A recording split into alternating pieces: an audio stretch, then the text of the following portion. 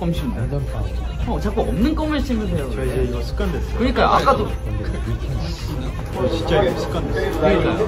아, 저 요즘에 껌도 좀 잘 많이 먹거든요. 많이 씻거든요. 네. 그러다 보니까 이제 자꾸 심심하면은